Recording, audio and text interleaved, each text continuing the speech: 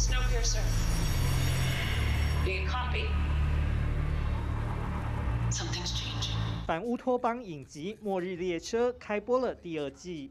We're in for something far worse than anything we've just come through. Making TV is hard. It's always hard.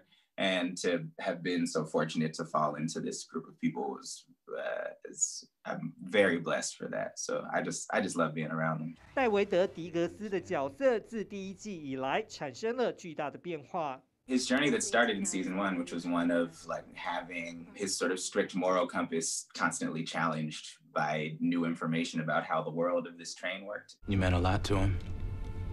I spent years washing my hands clean of him. Now he is the leader of this train and uh, i- is immediately thrust into another another war. So a lot of the promises that he made become very difficult to keep. Uh, he has to struggle with that. You tell Mr. Wilford the people of Snowpiercer will never surrender. 而剧中末日列车的建造者威尔福德先生，则是由《权力的游戏》的影星西恩宾所饰演。 Apocalypse isn't so bad, really.